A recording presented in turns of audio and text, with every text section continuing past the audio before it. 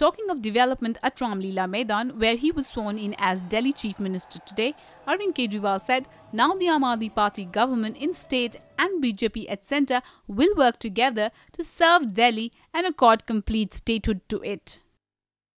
पिछले पंद्रह साल से भारतीय जनता पार्टी दिल्ली को पूर्ण राज्य का दर्जा दिलाने के लिए लड़ती रही लोकसभा चुनाव के पहले भी भारतीय जनता पार्टी ने दिल्ली के लोगों को वादा किया था कि दिल्ली को पूर्ण राज्य का दर्जा देंगे।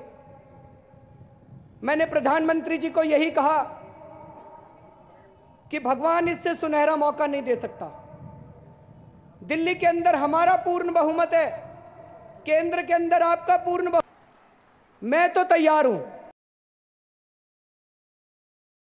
अभी पिछले कुछ दिनों से मैं टीवी पे सुन रहा हूँ। हमारे कुछ लोग कह रहे हैं, अब हम यहाँ का भी चुनाव लड़ेंगे, अब हम वहाँ का भी चुनाव लड़ेंगे, अब हम पाँच राज्यों के चुनाव लड़ेंगे, अब हम दस राज्यों के चुनाव लड़ेंगे। इसमें थोड़ा थोड़ा अहंकार नज़र आ रहा है मुझे।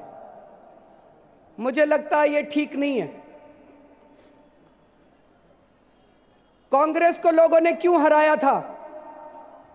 क्योंकि कांग्रेस के अंदर अहंकार आ गया। वही भारतीय जनता पार्टी, जिसको मई के महीने में लोगों ने इतना भारी बहुमत दिया, आज भारतीय जनता पार्टी को लोगों ने क्यों हराया? क्योंकि बीजेपी के अंदर अहंकार आ गया। पिछले साल हम लोगों को 28 सीटें मिली, लेकिन शायद कहीं ना कहीं हमारी पार्टी के अंदर भी अहंकार आ गया और हमारी पार्टी ने तय किया कि पूरे देश के अंदर सारे चुनाव लड़ेंगे। और भगवान ने हमें, हमारे अहंकार की सजा दी और लोकसभा के अंदर जो हुआ हमें पता चल गया। उससे हमें सबक लेना चाहिए। लेकिन फिर भी मुझे पूरा भरोसा है कि हम दिल्ली पुलिस के साथ मिलके दिल्ली को एक ऐसा शहर बनाएँगे जिसमें हर हिंदू सुरक्षित महसूस कर सके, हर मुसलमान अपने आप को सुरक्षित महसूस कर सके, हर क्रिश्चियन अपने आप को सुरक्षित महसूस कर सके, हर सिख अपने आप को सुरक्षित महसूस कर सके, हर धर्म, हर जाति का लोग अपने आप को सुरक्षित महसूस कर सके।